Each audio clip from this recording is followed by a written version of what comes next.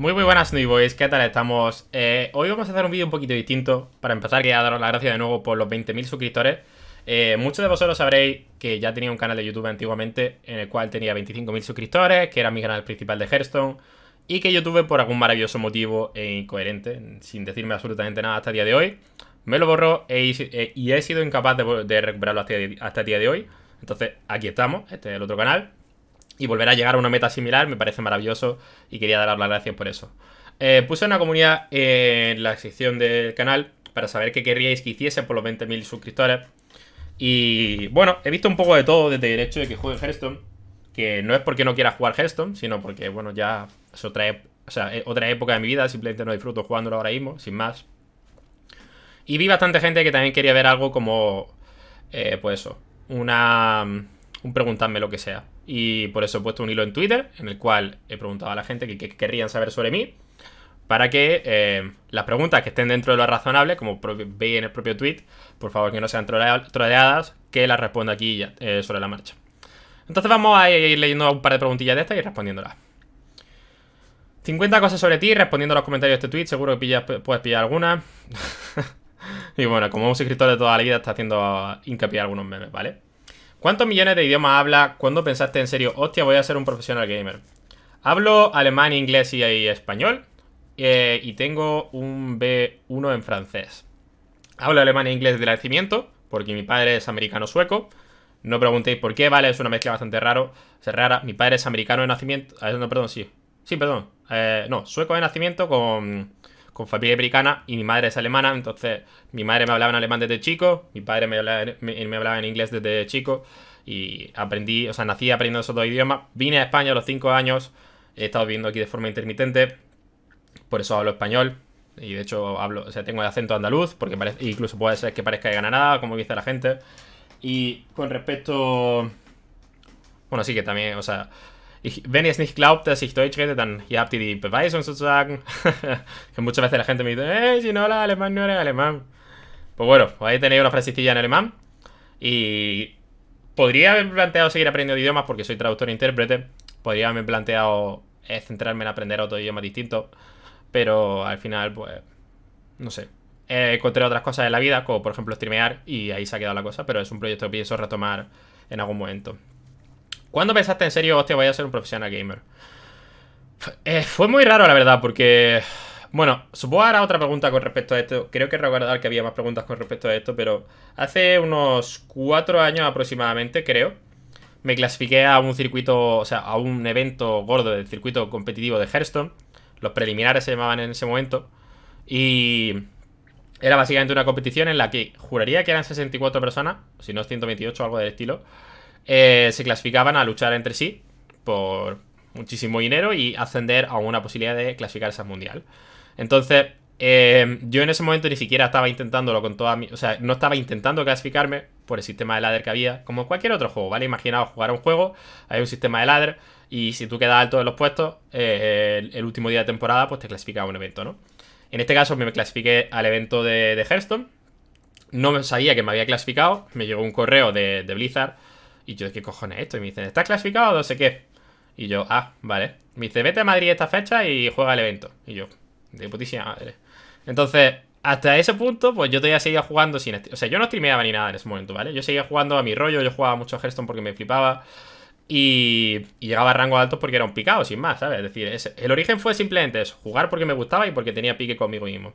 Entonces ya cuando me llegó el correo ese digo, bueno, pues Supongo que tendré que preparármelo. No tenía ni idea de cómo se construían lineups ni de cómo se montaban estrategias. Yo simplemente fui. O sea, fui a Madrid. No conocía a nadie. De hecho, eh, fui con la idea de dormir en un hostal. Y al final el hostal ese eh, me timaron y no existía. Entonces, llegué al evento, pasé el día, se estuvo de puta madre, conocí un montón de gente. Y acabé durmiendo en casa de un señor llamado Zombiciadas, o Beiji, según como lo conozcáis alguno de vosotros. Que era mm, trabajaba en OG Series en aquella época. Y me acogió en su casa porque básicamente yo estaba dando vueltas por Madrid. Y digo, ¿dónde yo me meto ahora, tío? No se estaba buscando meterme en otro tal o lo que sea. Y me llama para hacerme una entrevista porque yo era un muchacho nuevo en ese evento. Es decir, todo el resto de la comunidad de Hearthstone ya se conocían entre sí, la mayoría que se había clasificado eran amigos de toda la vida. Y conforme terminó el evento, o sea, el primer día de evento, perdón, no el evento entero, me llamó en plan de vamos a hacer una entrevistilla rápida para poner los cortes de, de la transmisión y esas cosas, para que la gente sepa de ti. Y yo, vale, guay. Y total, respondo a las preguntas y todo eso. Me dice, ¿qué tal, tío? Que te escucho que estás por la calle, no sé qué. Y digo, sí, es que me he quedado sin sitio para dormir y estoy buscando dónde alojar, pero no sé cuánto. Tú piensas que yo no había hablado con este pavo nunca. O sea, no sabía qué narices era, ni tenía ningún tipo de relación con él. Y súper, súper majo me dijo, mira, tienes que coger esta línea de metro, no sé cuánto, tienes que venir aquí. Yo vivo aquí, te puedes quedar conmigo, no sé cuánto. Y mañana eh, te echo un cable llegando para allá. Pillamos un, un Cabify, un Uber, no sé, no sé lo que pillamos, una de esas dos, juntos y tan a gusto. Y yo, Claro, además de buena a primera, dudé un poco porque digo, madre mía, se me voy a meter. O sea, no porque el gesto no fuese bonito, sino porque me metes en la casa del tío este de que no conozco, no sé. Era un poco raro, ¿no?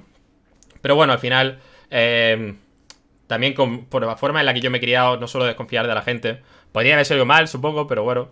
Pero soy una persona que confía mucho y le da ese voto de confianza a la gente y eso. Así que al final acabé yendo a su casa.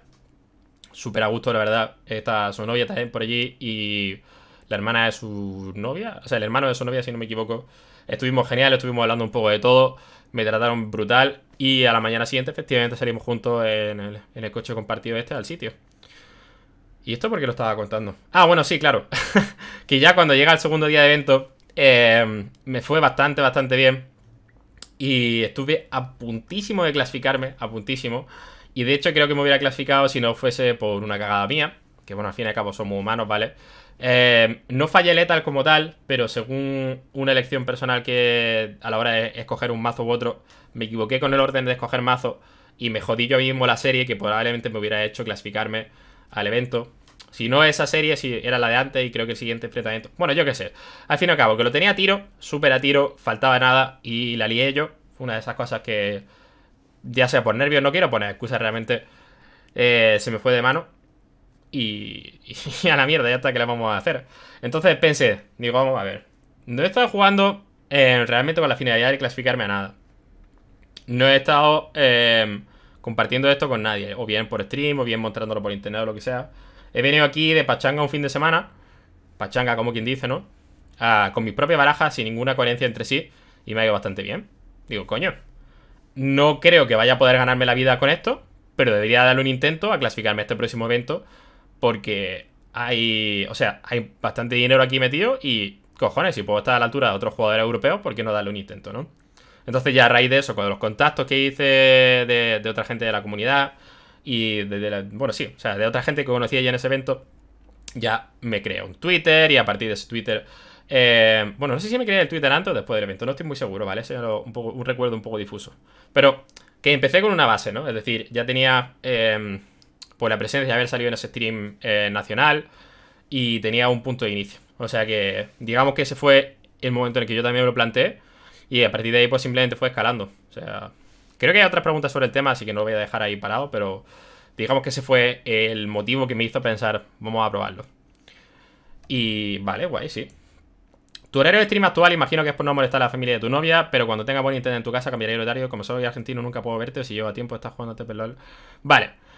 Eh, esto es algo que me habéis comentado muchos de vosotros. Sé que hay una cantidad de seguidores bastante alta, tanto en Twitch como en YouTube, que soy de, Latinoamérica. Sé que, a pesar de que tengáis distintos horarios en distintos sitios de Latinoamérica, no a muchos de vosotros viene bien.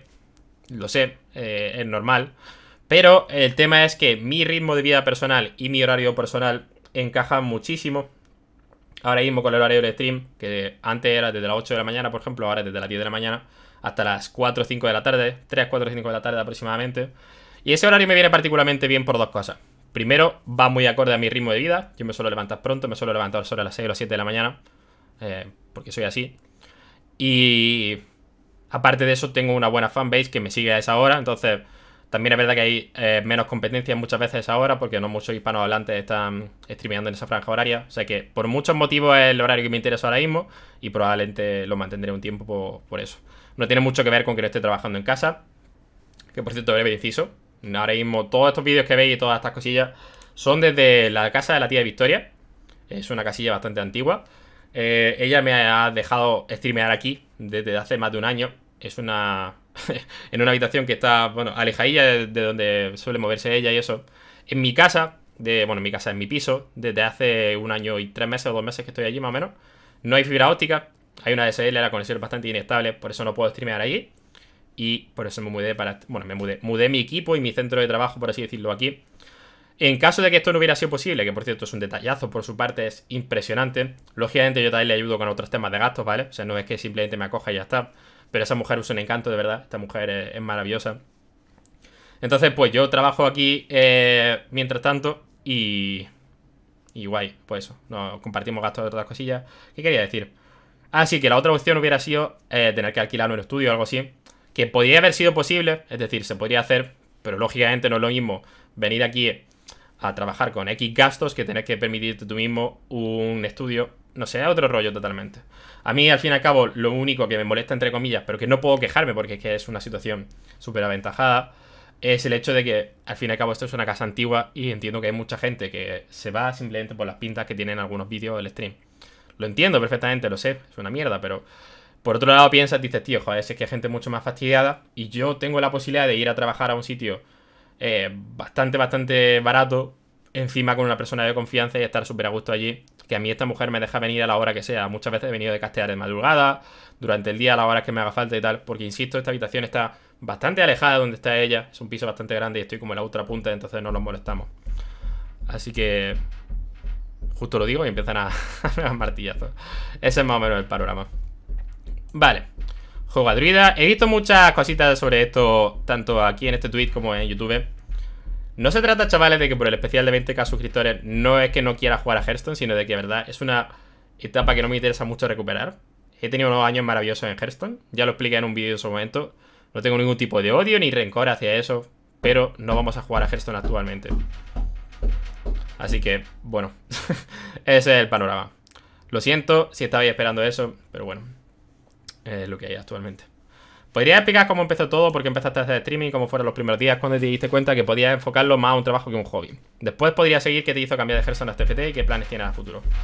Vale, pues retomando un poquito la historia. Eh, espérate un segundo, vamos a el segundo comentario. Segundo este comentario, añado algunas ideas más. Podría hablar de tu hobby o temas que te interesan, una relación con los esports o hablar de tu historia y qué es lo que más te gusta y lo que menos te gusta de ser streamer. Vale.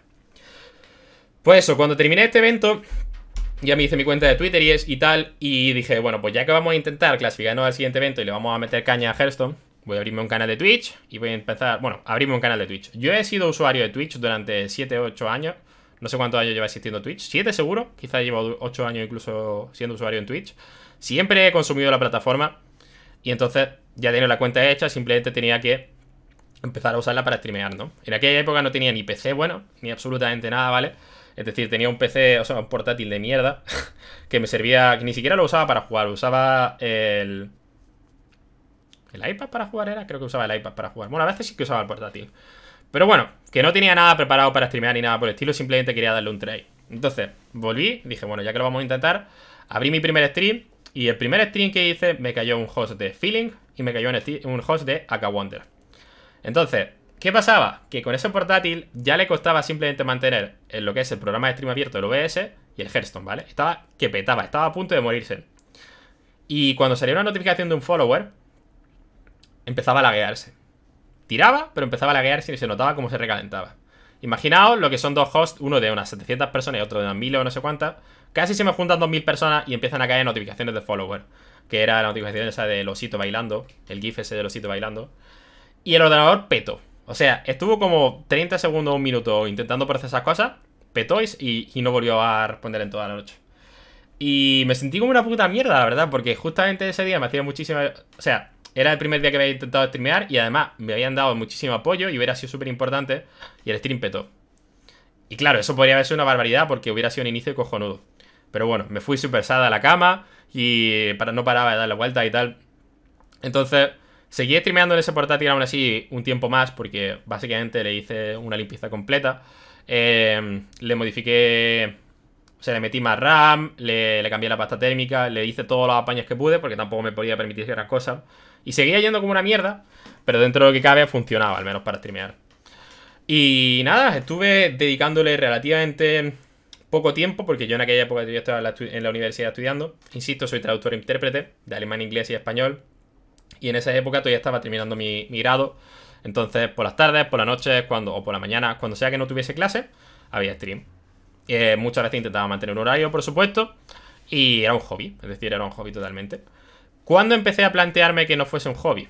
Cuando, em, efectivamente, en el segundo evento al que fui de esports me empezó a ir mejor y cuando en el canal de Twitch las cosas iban creciendo a un ritmo bastante razonable. Aparte, bueno, razonable, quiero decir. O sea, empecé con mis típicos 30, 40 suscriptores, 50.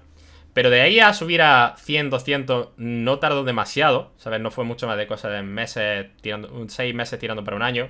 Y como no le había invertido mucho esfuerzo, digo, em, a lo que es el stream, digo, si metiendo en esta cantidad de tiempo y, y esfuerzo y esas cosas, puedo llegar a sacarle una rentabilidad X, y de hecho me dieron el partner también de Twitch en ese momento más o menos por cifra, digo, coño, pues en cuanto termine la universidad voy a darle un try a tope, ¿no? Lógicamente ya seguí con ese ritmo más o menos, o sea, cada vez le metía más tiempo y intentaba balancear con la universidad, y cuando terminé la universidad ya, pues a tope, y aquí estamos, supongo, ya poquito a poco ha ido escalando. Pero ha sido muy progresivo, es decir, no me tiré... Bueno, no, no, es que no me tirara de cabeza, sino que no empecé metiendo el 300 horas, ni creo que nadie deba empezar así, de hecho. Es decir, creo que es algo, un proyecto muy progresivo, en el cual tú tienes que tener claro lo que vas a hacer y que siempre vas a empezar por divertirte, por diversión.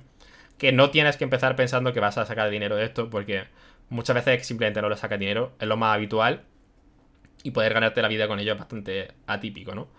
Así que nada, ya empezó a ir escalando la cosa. Y de hecho, cuando. O sea, una historia bastante graciosa. O sea, gracias. Yo estoy aquí gracias a muchas casualidades de la vida. Que supongo que muchas veces también llegan gracias a que tú te las has currado. Pero. Y este, llega en el momento correcto. Pero conforme fueron pasando los meses. O las semanas. Meses, semanas. Es que ya no recuerdo los, periodos de tiempo exactos, ¿vale? Pero conforme seguía streameando y pasaba el tiempo. Eh, mi ordenador ya dejaba de tirar. Por mucho que lo optimizase. Y llegó un muchacho que se suscribió al canal. Segundo, chavales, que es que. Un tornillo o algo aquí. Y me está rayando. Ahí, cojones. ya lo he pillado. Pues eso. Que llegó un muchacho que se suscribió y me dijo, tío, qué lástima que te vaya a los mal, que, que no sé, a veces uno se distrae y tal porque no puede ver, bien, ver, bien, el gameplay y disfrutar del stream. Y digo, ya, tío, es que no me lo puedo permitir ahora mismo, no sé cuánto. Le expliqué la situación, no sé cuánto. Igual que se la explicaba a todo el mundo que entraba, ¿vale? Resulta que era un muchacho que tenía una tienda de informática y esa misma noche me habla y me dice, oye, tío, dame tu dirección que te voy a mandar un PC así un poquito basiquito, una torre, con piezas que no sobran aquí en la tienda. yo, no puede ser esto, tío. Digo, esto, ¿me está troleando este tío? O sea, querrá mi dirección por otra cosa, no sé cuánto. Le di una vuelta, pero una vez más, como tengo ese bote de confianza ciego, eh, la gente, pues al final le di la dirección y al día siguiente, no te creas tú, o al día siguiente o dos días después, me llega una caja gigante con un micrófono, que fue el micrófono que estuve usando muchísimo tiempo.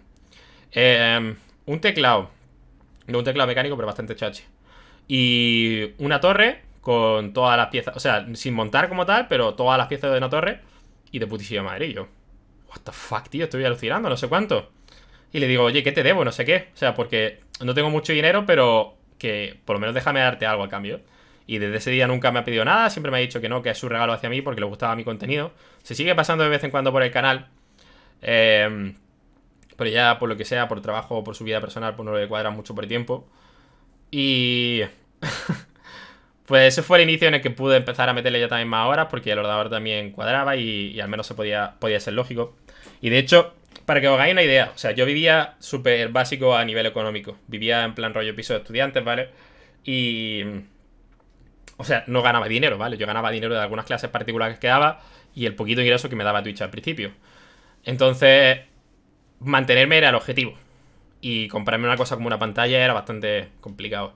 Estuve también unos cuantos meses, una vez que tenía...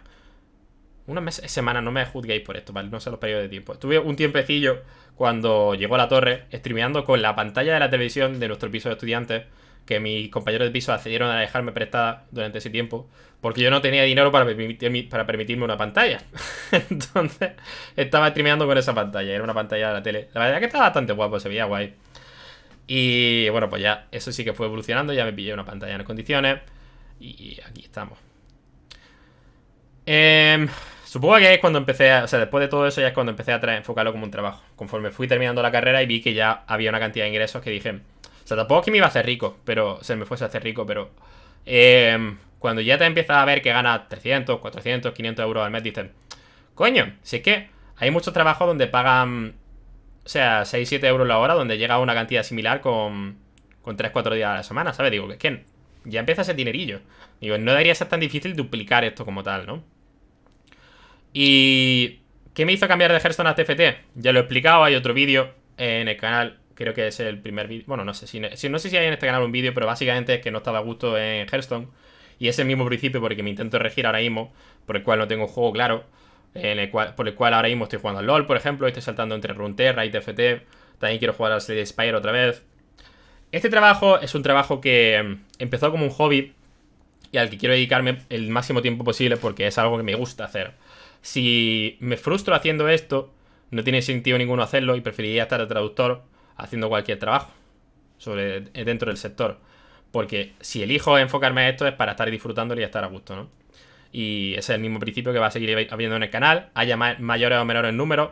Mucha gente lo compara al hecho de que me cambié de Hearthstone a TFT porque era un juego con más potencial, no sé cuánto. Ahora mismo Hearthstone tiene todos los días 50.000 viewers.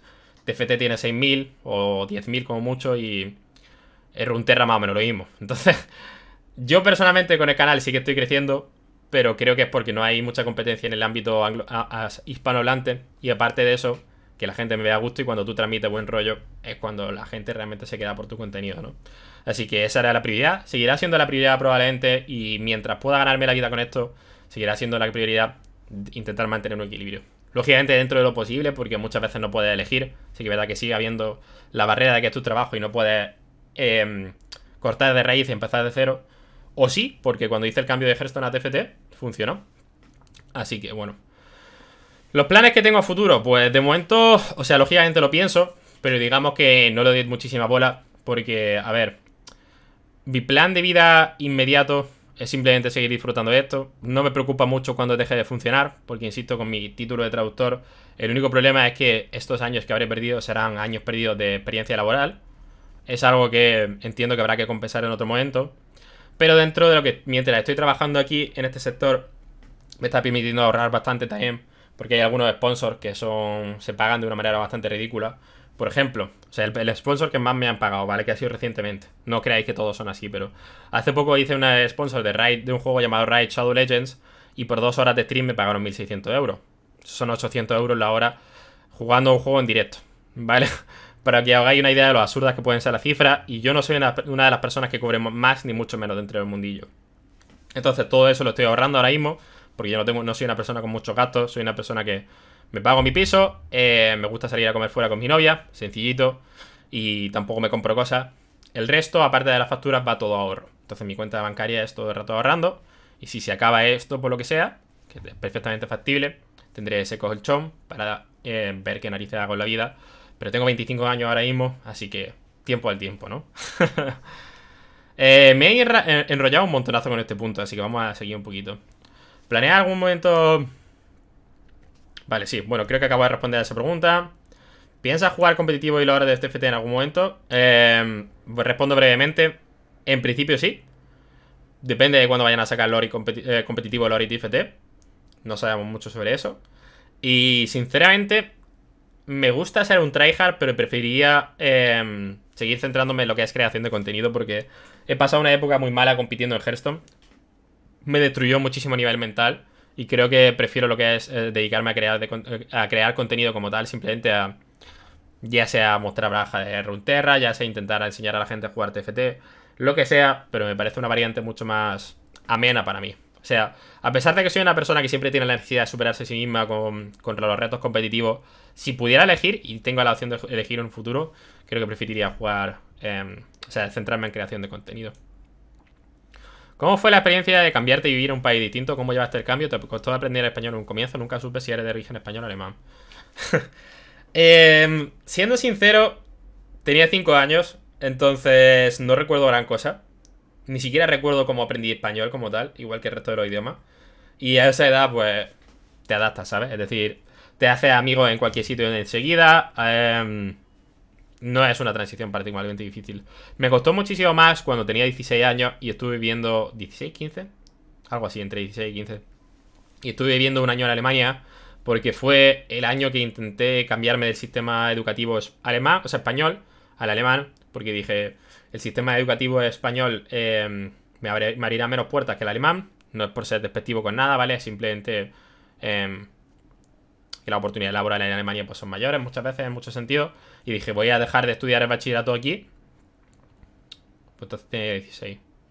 16. Bueno, sí, algo así. Y voy a probar a retomar los estudios allí.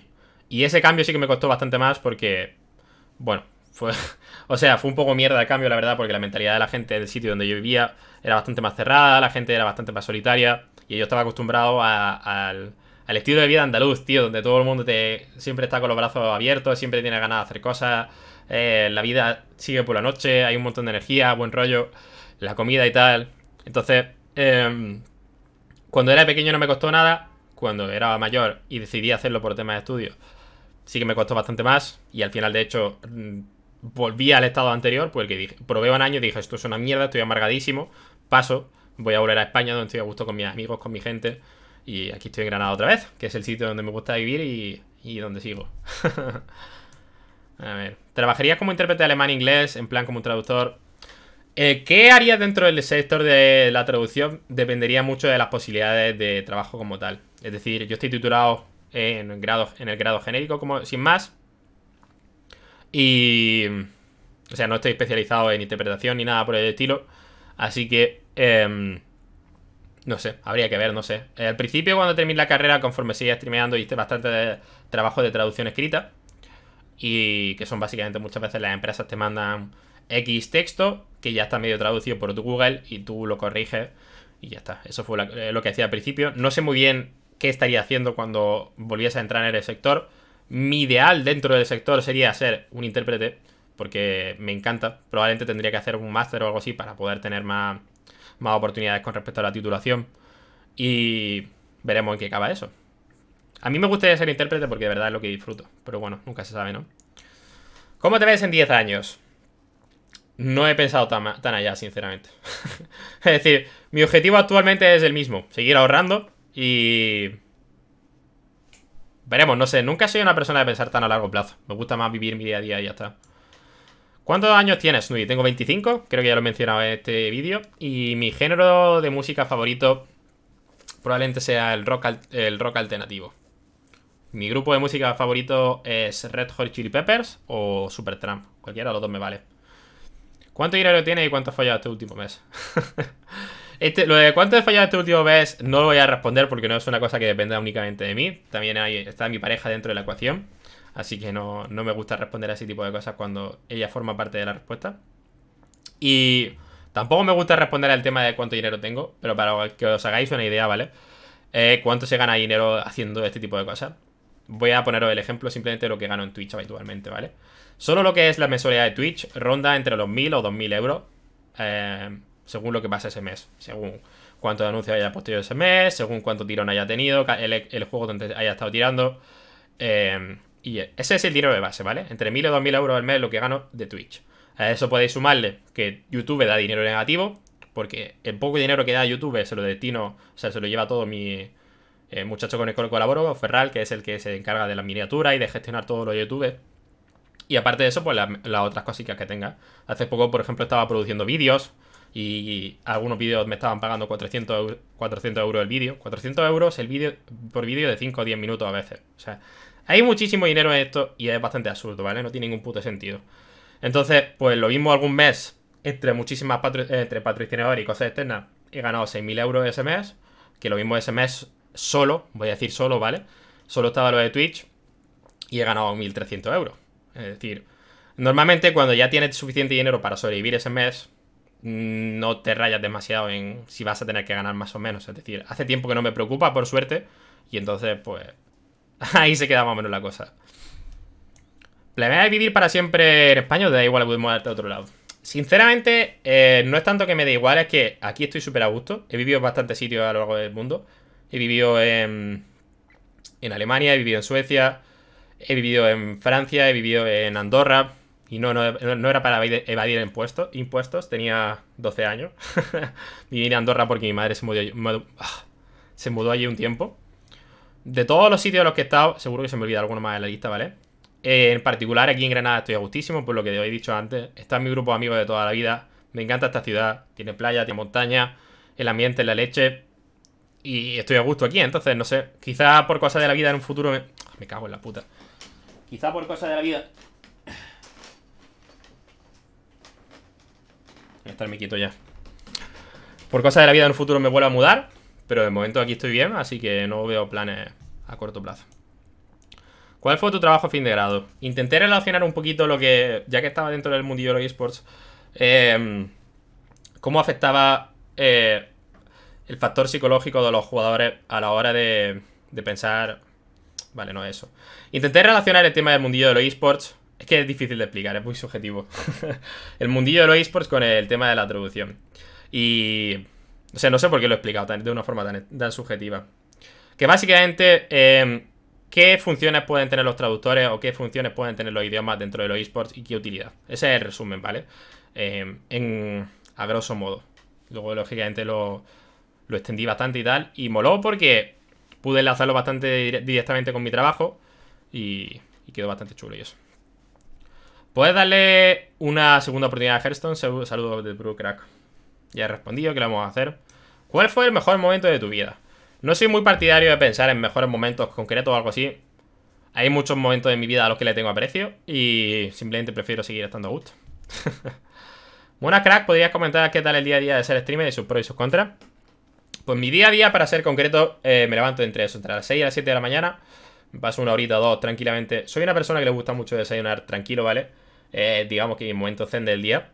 Me levanto, desayuno, yo qué sé, con música de fondo o o yo que sé, o viendo algún stream a veces, o leyendo algo, o simplemente sin escuchar nada, que muchas veces me aíslo de todo en ese momento. Y me paso un par de horas tranquilamente desayunando, dando vueltas por la casa y tal. Vengo aquí al PC, respondo los correos que haya que responder, porque muchas veces hay que pues rechazar sponsors, o mirar cuáles son los correos de spam, o ver qué cojones hay que solucionar, o preparar vídeo de YouTube o lo que sea. Procedo a lo que es la rutina del stream, que suelen ser unas 6, 7, 8 horas al día, unos 5 o 6 días a la semana termino de stream, sigo resolviendo las cosas que hay que resolver, ya sean correos, ponerse en contacto con alguien, una llamada o lo que sea. Y ahí normalmente apago PC y me piro, que suele ser sobre las 6, 7 de la tarde. ¿Pros que tiene esto? Mi trabajo no se suele hacer aburrido casi nunca. Es decir, al fin y al cabo, juego los juegos que me gustan a diario y eso mola un montón.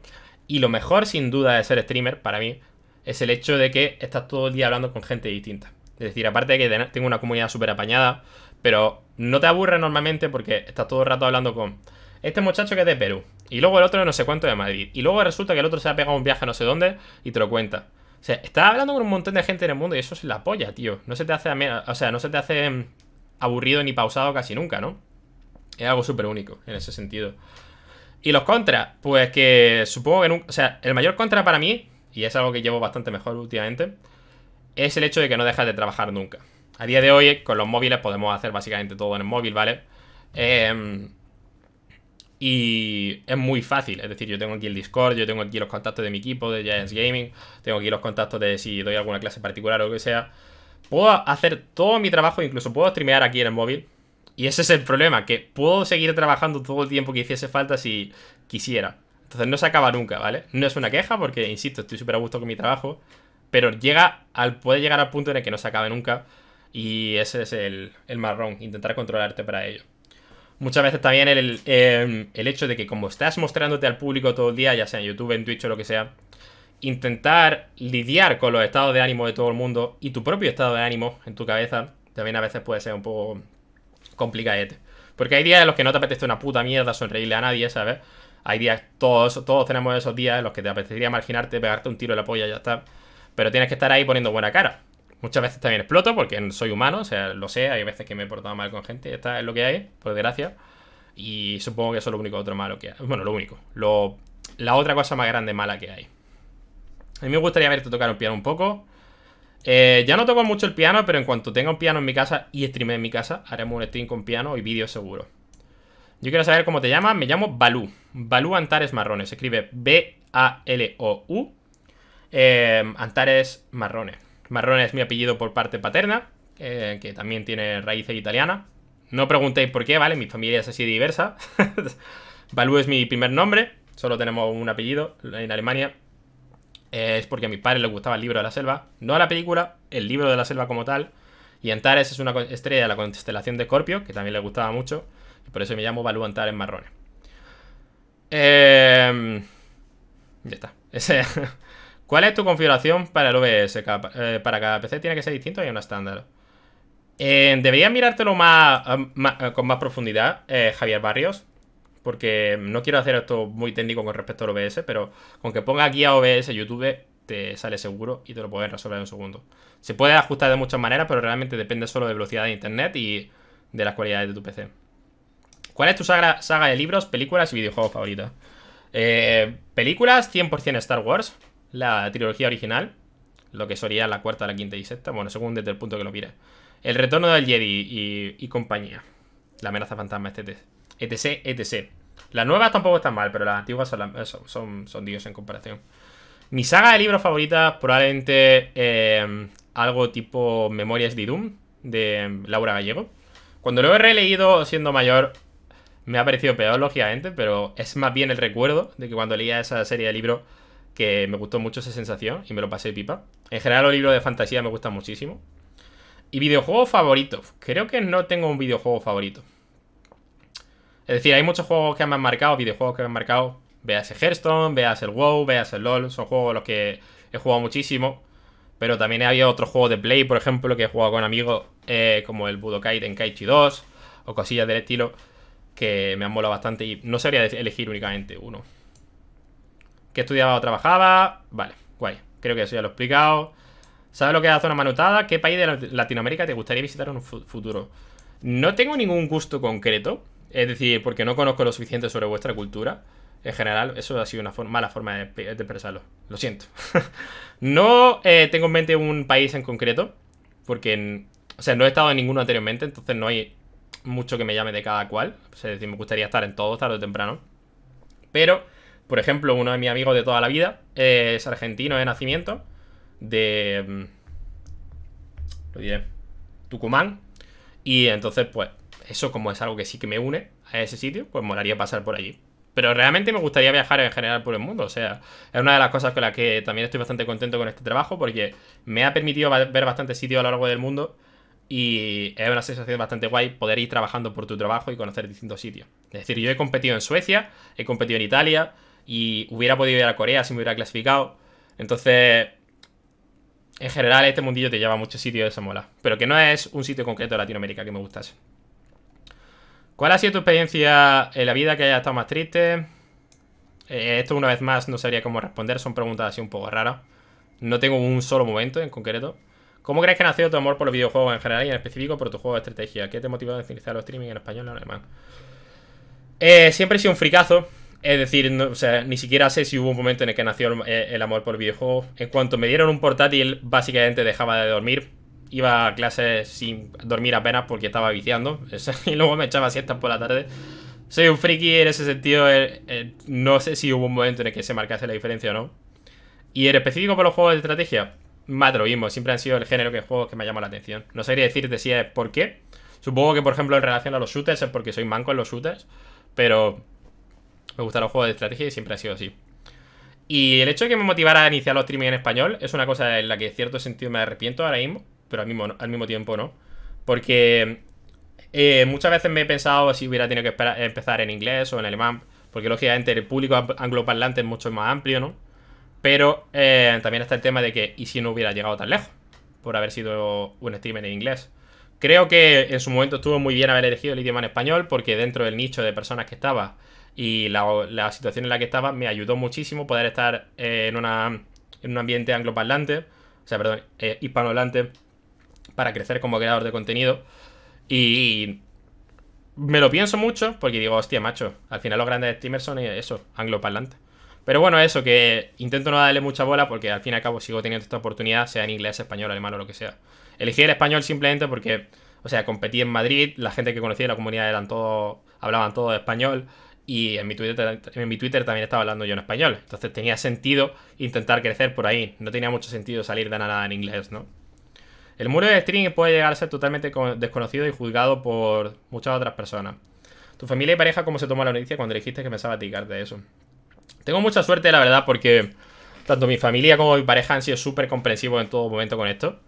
mm, mi pareja debe ser la persona más maravillosa con respecto a eso. Es decir, nunca me ha puesto una pega con respecto a si tengo que pasarme un par de horas más en stream, si tengo que hacer una campaña a las 3 de la mañana, si tengo que ir a un evento en Suecia una semana, si tengo que estar tres días fuera, nunca, jamás. O sea, sobre todo ella ha sido la que más me ha apoyado, ha sido maravilloso, sea, ninguna queja. Y curiosamente, tanto por parte de su familia como por parte de mi familia, por parte de su familia eh, es difícil explicárselo, es decir, no lo entienden bien del todo, muchas veces les digo cosas y es como, ¿eh? Para que os hagáis una idea, por ejemplo, mi suegro piensa que juego al FIFA. Vale, bueno, no sé dónde habrá sacado eso, pero sin problema. Si él piensa que juego al FIFA, pues juego al FIFA, tampoco hay problema. Pero al fin y al cabo ellos lo entienden como simplemente estar delante del PC, hacer X cosas y me apoyan con ello. Y ya está. Y lo que es por mi parte de mi propia familia, o sea, mi familia como tal, no la familia por parte de mi novia, Em, realmente solo tengo contacto con mi madre, sobre todo. Y ella siempre me ha apoyado absolutamente en toda la vida. Así que esto no fue muy distinto. Si tu pareja está de acuerdo, ambos nos podrían contar sobre la relación. Eh, esto es un tema un poquito menos más impersonal o no tiene tanto que ver conmigo. ¿Te gusta seguir algún tipo de deporte, fútbol, baloncesto, curling o que lo sea? Me gusta ver el tenis. Últimamente veo poco, si os soy sincero. Pero el deporte que más me gusta ver es el tenis.